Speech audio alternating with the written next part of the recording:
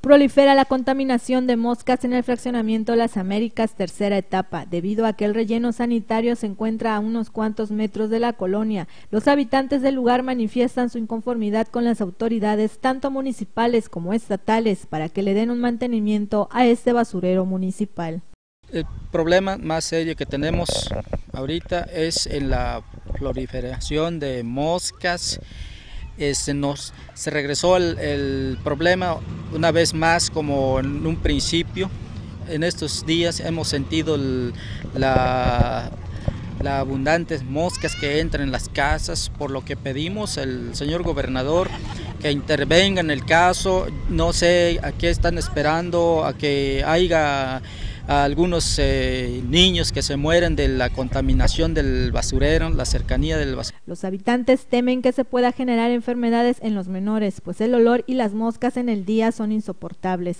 Incluso mencionaron que los camiones de basura no pasan por la colonia a recoger las bolsas. Ya este, tenemos como ocho días que de nuevamente eh, comenzaron a, comenzó el problema de las moscas, que llegan, pero por mucho de que se limpie con cloro, se haga, de nuevo está el montón de moscas. Estamos pensando que pues las enfermedades, sobre todo para los niños. los camiones que pasan a recoger la basura son eh, los, las este, camionetas de promocasa, porque aquí el camión de basura no entra. Son dos, dos o tres veces a la semana que pasan.